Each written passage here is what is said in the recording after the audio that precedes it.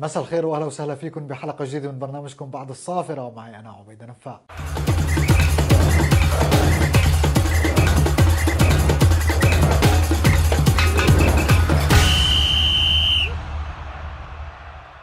كريستيانو رونالدو شو اللي صار؟ شو اللي عم بيصير الناس مستغربة.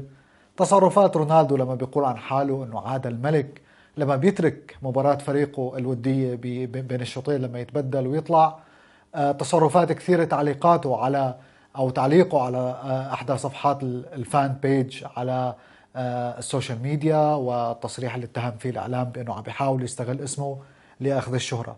كل هاي التصرفات ما اعتدنا عليها بصراحة أبدا من كريستيانو رونالدو اللي كان دائما يتميز بأنه شخص احترافي جدا شخص دائما مع روح المجموعة قائد حقيقي داخل أرضية الملعب وخارج أرضية الملعب قدوة للجميع. بس شو اللي عم بيصير؟ اللي عم بيصير فعليا هو رد فعل. شو يعني رد فعل؟ لما يكون كريستيانو رونالدو قبل سنتين بس لاعب تتهافت عليه الأندية يعني ما في نادي بأوروبا إلا ما بيتمنى يكون كريستيانو رونالدو لاعب فيه. الناس مستعدة تدفع مئات الملايين بس من شهر رونالدو يجي مستعدة تبيع لعيبة كثير مقابل إنه رونالدو يكون لاعب معهم بالفريق. بعد سنتين فقط بتلاقي إنه الأندية نفسها هي صارت ترفض. كريستيانو رونالدو. هاي العملية صعبة جدا على لاعب أسطورة بقيمة اللاعب البرتغالي لما يشعر أنه دائرة الضوء اللي حواليه بدأت تخفت وبلشت الأندية تحاول تتخلص منه مش ترغب بضمه. هون بتصير الأمور صعبة جدا وصعب أنه يتقبلها. رونالدو مثل ما بنعرف هو بده يطلع من مانشستر يونايتد من بداية سوق الانتقالات الحالي لما النادي فشل بالتأهل لل Champions League.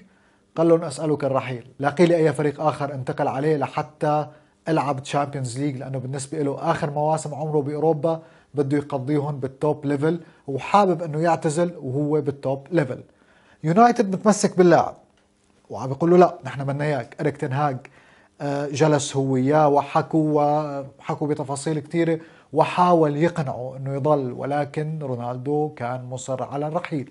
مدير أعماله حاول إنه يحكي مع عدة أندية مثلا مثل بايرن مثل تشيلسي مثل PSG ولكن كل هاي الأندية كانت شايفة إنه مش محتاج رونالدو يعني إن كان من رئيس النادي أو إن كان من المدرب.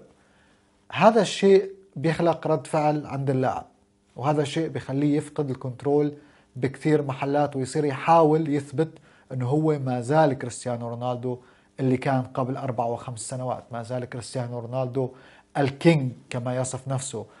إريك تنهاخ طلع بتصريح من جديد قبل يمكن دقائق قال فيه إنه تصرف كريستيانو رونالدو وخروجه بين الشوطين في مباراة رايو فاليكانو وخروج بعض اللاعبين الآخرين غير مقبول.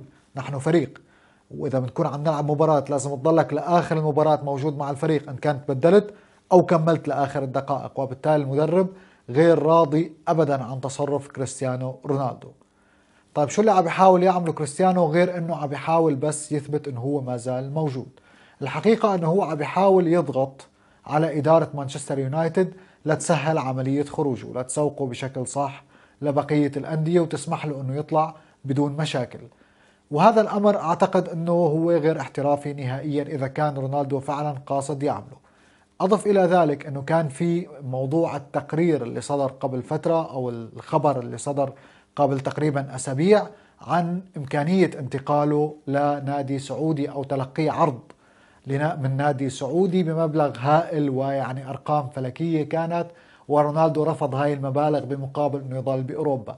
كل هاي الحركات هي محاولات من رونالدو لحتى يقول أنا أريد أن ألعب في أوروبا أريد أن ألعب بال Champions League تحديدا ومش هاممني المصاري وما بدي مصاري بدي ضلني موجود باوروبا وبال top level طيب الأمور لوين رايحة؟ يعني نحن عم نشوف تطورات من هون ومن هون. لوين رايحة الأمور؟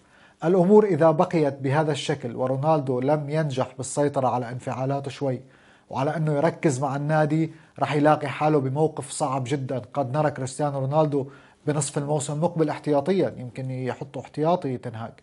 تنهاك شخصية قوية شخصية بإيدها كل الباور وكل الزخم الجماهيري اللي انقلب على رونالدو وصار مع تنهاج وبالتالي عنده القوة وعنده السلطة أنه يحط رونالدو احتياط نص موسم ربما بين ما يلاقي له أي بيعة ويبيعه ويخلص منه.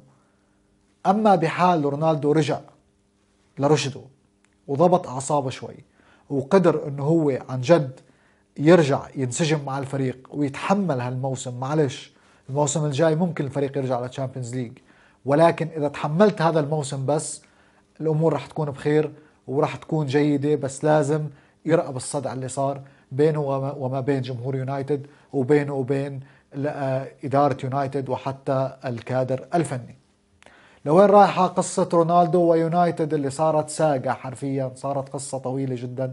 ما بنعرف لوين راح تروح ولكن الأيام الجاي كفيلة أنه هي تحدد مصير هذا اللاعب الكبير جدا كل اللي صار اليوم ما بيلغي أنه رونالدو يبقى أحد أهم الأساطير في تاريخ كرة القدم.